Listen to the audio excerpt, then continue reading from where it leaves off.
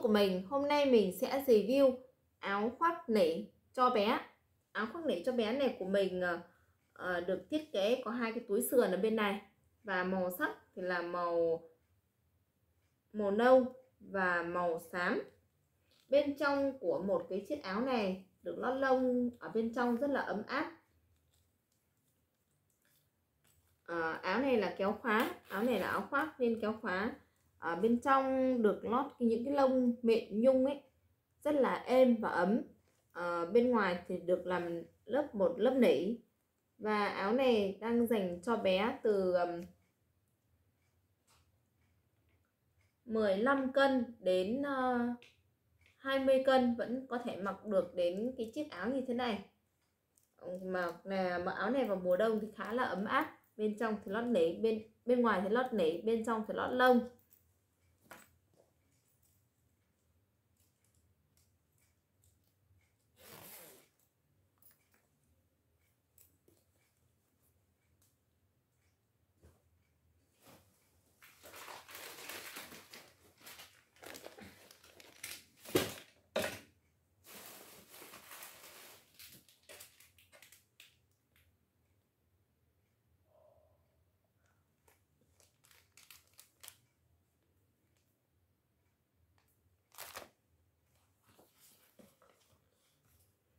Hai vợ chồng kia mãi lo công việc buôn bán, không dạy dỗ chi được con cái.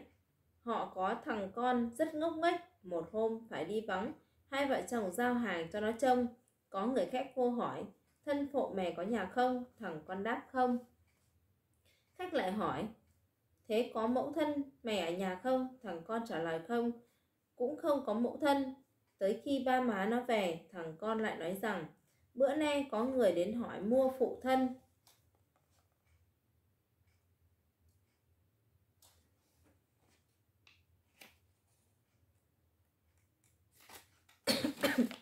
phụ thân, phụ mẫu, nhà mình làm gì có hai thứ đó.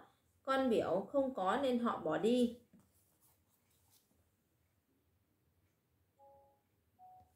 Chào mừng các bạn đã đến với kênh youtube của mình. Hôm nay mình sẽ review câu chuyện Hiếu Tử được nằm trong cuốn sách Xưa và Nay. Mình xin mời các bạn cùng mình lắng nghe câu chuyện. Chào mừng các bạn đã đến với kênh youtube của mình Hôm nay mình sẽ review câu chuyện đúng hai hào được nằm trong cuốn sách xưa và nay. Mình xin mời các bạn cùng mình lắng nghe câu chuyện.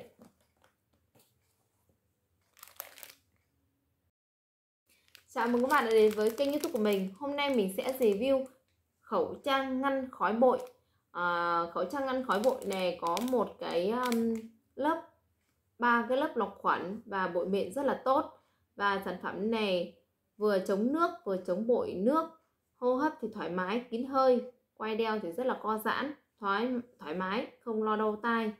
Và sản phẩm này được sản xuất tại công ty trách nhiệm hữu hạn sản xuất và thương và thương mại Nam Khánh 68 và hạn sử dụng của nó là rất là dài. À, chúng ta có thể sử dụng cái sản phẩm này trong vòng 5 năm mới hết hạn.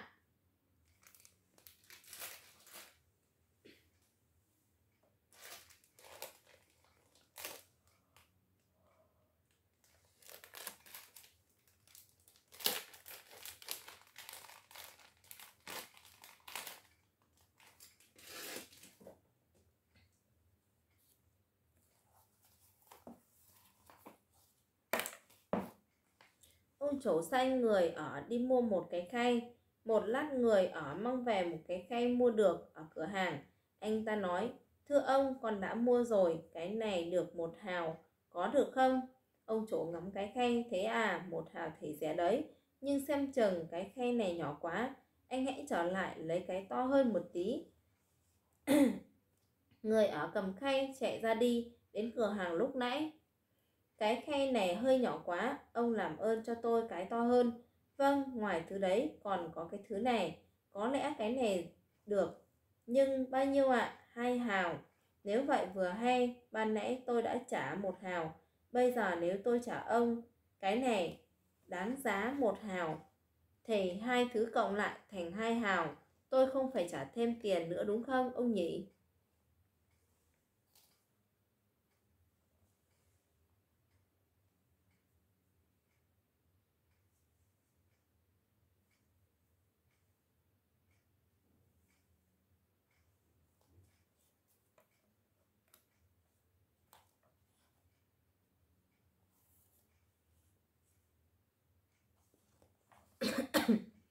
Cha ôi đất thật đấy, nhân đạo này, túng tiền, tôi liền bán đây, ngài liệu xem có mua các cụ không?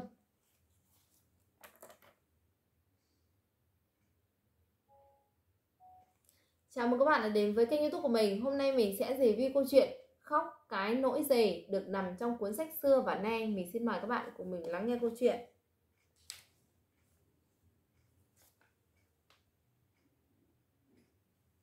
Chào mừng các bạn đã đến với kênh youtube của mình. Hôm nay mình sẽ review câu chuyện Mua cả cái rào được nằm trong cuốn sách xưa và nay. Mình xin mời các bạn cùng mình lắng nghe câu chuyện.